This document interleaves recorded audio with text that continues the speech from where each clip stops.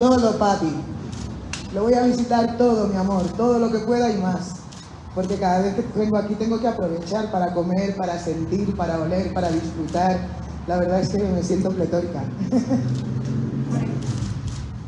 Hola querida Wicca, ¿cómo estás? Muy bien. Eh, Rodrigo González de Cancionistas.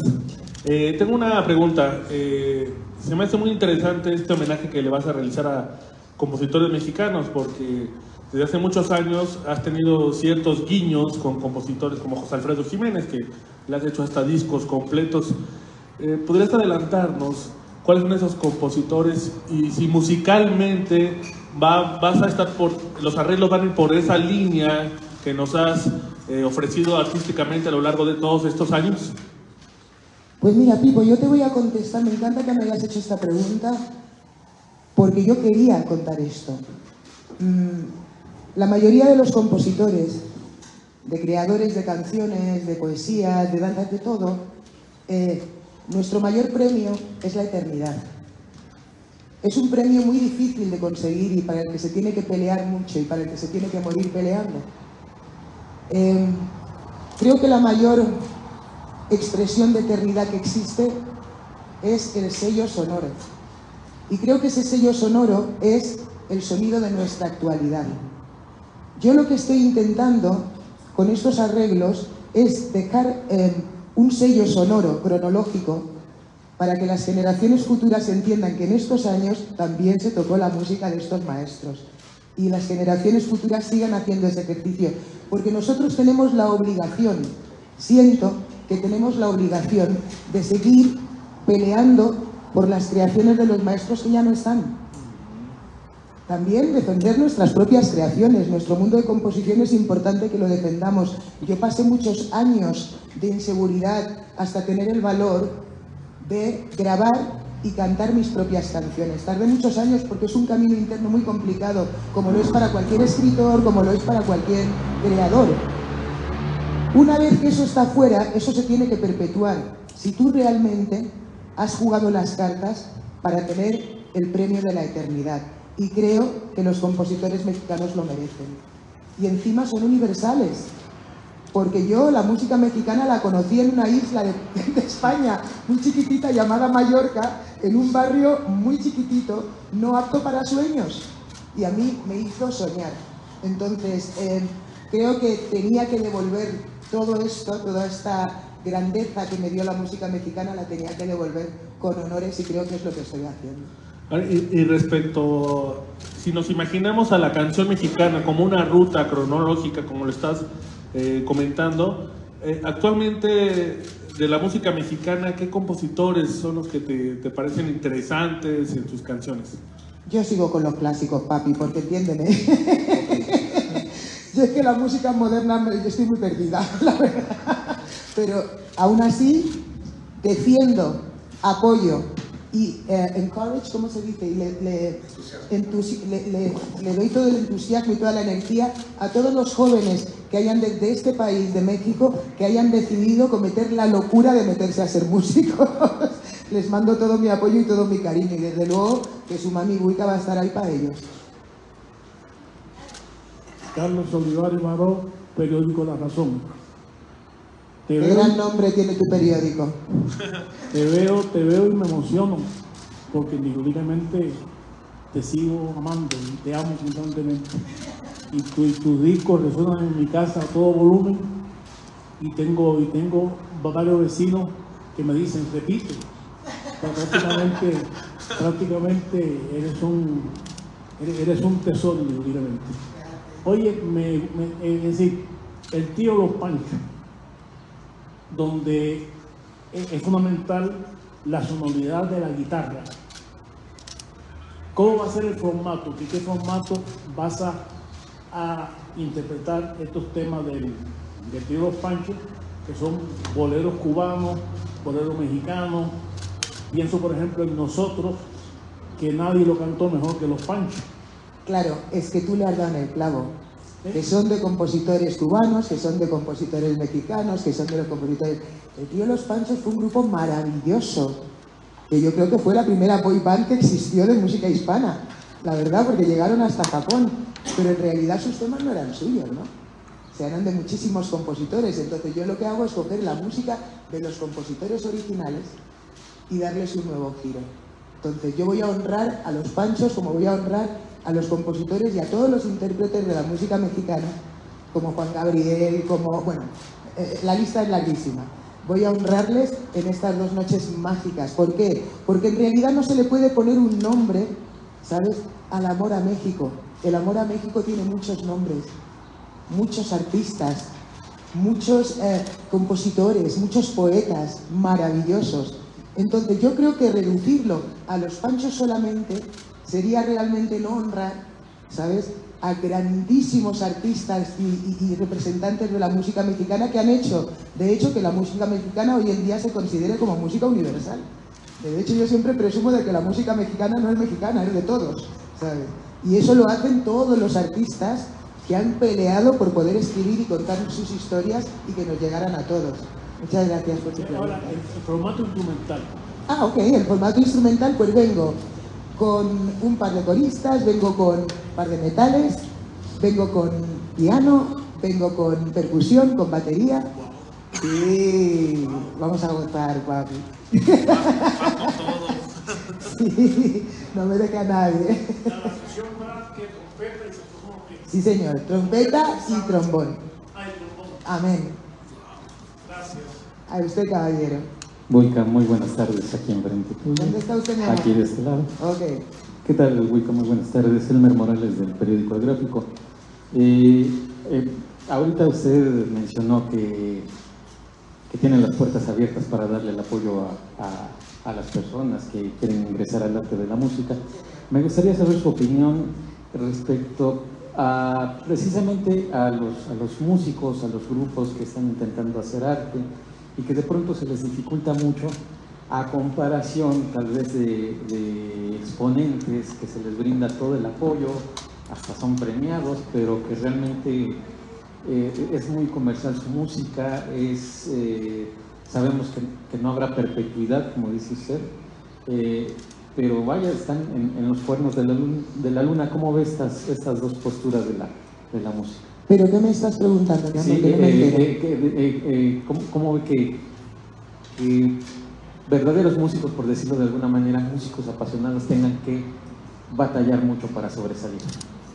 Pues como todos los demás personas que trabajan en este mundo, que tienen que batallar mucho para poder hacer sus trabajos, eso es enfrentarse a la realidad, mi amor. El éxito no es que mucha gente te aplauda, el éxito es haber podido sobrevivir y haber podido vivir haciendo lo que más te gusta en este mundo. A ver, entiéndeme que hay que diferenciar entre tener éxito realizando tu profesión o ser un influencer. Pregúntate qué quieres y en función a lo que quieras, pues actúa. Yo, por ejemplo, eh, entiéndeme, es verdad que han cambiado los tiempos, pero yo hice toda mi carrera con dos videoclips y tres sesiones de fotos, en realidad. si ahora lo miramos, pues en realidad no tendría que haber nadie en un teatro donde yo canto, porque, nunca supe esto de... ¿Me entiendes? O sea, yo creo que uno no se tiene que preocupar de a dónde va a llevarle el camino, solo se tiene que preocupar de caminar y disfrutar de cada uno de los pasos, mi amor. Usted no se tiene que preocupar si usted va a llegar a ser famoso, si va a llegar a tener Grammy, si usted va a estar sexy, guapo frente a los fans. Todas esas cosas no le tienen que preocupar, caballero. Usted cuando es artista se tiene que preocupar de pelear cada día porque su arte sea lo más puro y lo más honesto que pueda y su público decidirá. Esto no es una decisión del artista, es una decisión del público. Como ejemplo te pongo que hay una grandísima influencer artista, ¿no? ¿Cómo, cómo se llama? Hilton, ¿right? Paris Hilton. Esa muchacha lo ha intentado todo por tener una carrera de cantante. Se ha gastado todo el dinero que pudo y más. El público no la cogió. ¿No me entiendes? Eso no depende de nadie. Y a mí no quiero que em, eh, desalentemos a los jóvenes haciéndoles esta propaganda de que los enchufados van a tener lo más fácil, de que eh, los influencers que tengan contactos más arriba llegarán más lejos que ellos. Usted inicie su camino, caballero, y dedíquese a caminar, a ser honesto, resiliente, paciente, ordenado y hacer lo que tienes que hacer. Créeme que si tú haces lo que tienes que hacer en todo momento, no es fácil, ¿vale? Pero si haces lo que tienes que hacer en todo momento, tú consigues vivir de tu carrera. De verdad. Tengas los apoyos que tengas. Usted. Hola, Wickham, soy Hola. Mónica Maristain de Maremoto M y quería preguntarte a propósito de la identidad. Tú dijiste, dijiste, México me dio una identidad o la identidad. ¿Qué es hoy ser una cantante en estos tiempos? Pues depende de quién, depende de para quién. Para cada quien es una cosa diferente, porque hay que tener en cuenta que estas profesiones las realizas con toda la energía de tu vida, de tu interior, de tus recuerdos, de tu tal. Ser cantante, realmente ser cantante no existe. Ser artista en general es eh, llegar a ser lo máximo de ti mismo, vivirte al máximo y contarlo. Eso es ser artista. Tener el valor de vivir por ti, de pensar por ti, de escoger, de aprender por ti y para ti. Y, de, y, y el resultado de toda esa investigación personal es lo que tú le ofreces a tu público, es lo que tú le ofreces a tus amigos, a tu gente, a lo que sea. Y creo que artistas somos todos. No el que pinta, canta o baila. Creo que artista es aquel que hace de su vida un arte. Se dedique a lo que se dedique, sinceramente. Todos somos artistas, mi amor. Esta vida es un teatro maravilloso. A ti, Bella. Hola, buenos, buenos días. Eh, nos volvemos a saludar, ya nos saludamos por Zoom. Wicca, soy Hola, Juan de Ávila. Eh, una pregunta sobre eh, la composición. Los discos que usted ha, ha presentado, los espectáculos aquí, han sido homenajes a compositores mexicanos. Quiero preguntarle a usted si ha eh, pensado en, en presentar composiciones propias, eh, ¿cómo, cómo es su, su- ese lado de escribir para usted? Ay, cariño, no, hago, no paro. Los presento constantemente. Sígueme un ratito y te darás cuenta. Tengo mucha composición propia ahí fuera. Mucha, mucha. De hecho, fíjate que la nominación al Grammy americano vino por un disco compuesto por mí. O sea que sí, yo apoyo mucho mi creatividad también, me tiro muchas flores, tengo una autoestima muy alta. Y me gusta mucho componer mi música y publicarla también. De hecho, acabo de publicar un single de música electrónica maravilloso, ¿sabes? Y voy a seguir publicando muchísima más música mía. Gracias. ¿Alguna pregunta más? ¿No? Ya no tenemos. Pues, ah, mira, aquí mi compadre.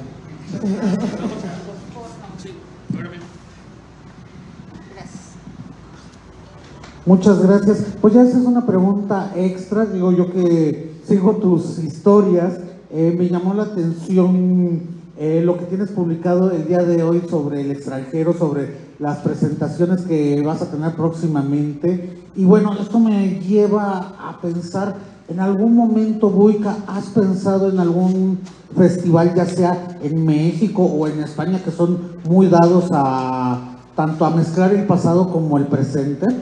Wow, sí. Este año viene cargado de festivales, de eventos maravillosos. La verdad es que yo siento, mi amor, que mi gira empezó hace 20 años y todavía no se ha parado. Eso es lo que yo siento, que llevo mucho tiempo girando. Pero bueno, creo que ese es un sentimiento que es un premio. Porque poder vivir y hacer lo que te gusta durante tantos años, acabo de cumplir 51 años y siento que estoy al principio de mi carrera, porque soy peleona. Entonces yo creo que, que a mí la vida me está premiando por, por no haberme rendido nunca, aunque ha habido momentos en los que de verdad sí lo he intentado, pero el público no me dejó. Y son mis jefes, y hay- tienes que hacer lo que los jefes digan. Eso está clarísimo. Entonces yo quiero mandarle un mensaje a mis jefes y decirles que como su empleada que soy nunca me rendiré. Muchas gracias. Pues muchas Yo gracias. tengo a- una pregunta, este, maestra Wicca. Claro, Eh, para este concierto, ¿vamos a tener alguna sorpresa, algún invitado? ¿O va a haber alguna. algo más allá de lo que ya ha presentado en México? Sí. Va a haber una sorpresa que soy yo.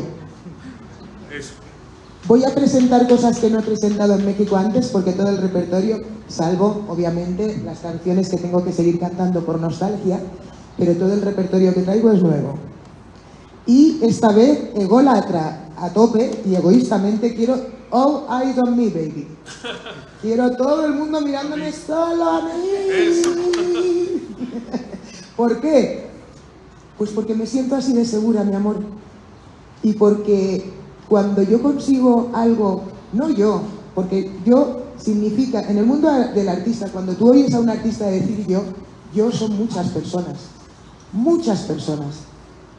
Oficina, gente de producción, tal. Estos dos días que vamos a estar aquí, ese logro y ese triunfo yo lo comparto con todas las personas que van a participar y que han estado participando para que esto sea posible, porque realmente es milagroso. Es milagroso que... ¿Cuánto aforo tiene este teatro, mi amor? 1.300 personas. Vale, pues es milagroso que 1.375 personas, cada uno con su idea, cada uno con su drama, cada uno con sus historias, cada uno con sus credos y sus fes, se junten y codo a codo se dediquen a sentir y olviden por un momento que a lo mejor no están de acuerdo. O sea, este es el extremo más alejado de lo que es la guerra, que es el amor en común, sin conocernos de nada, sin necesidad de conocernos, respeto, cariño, buenos sentimientos, buena música. Vamos a sentir juntos y vamos a revivir nuestra historia, porque todos esos temas son temas que nos han visto nacer. O sea que lo que va a pasar esta noche aquí va a ser milagroso. ¿A quién más invitarías, cariño mío? No te hace falta nadie más que yo. Wicca, Muchas gracias. ¿algo que gustes agregar? Que os quiero mucho a todos. Que cuando yo era pequeña me enseñaron que no se podía querer a personas que no se conocen. Pero yo no estoy de acuerdo porque os quiero mucho. Que Dios os bendiga y que tengáis un día maravilloso. Muchas gracias.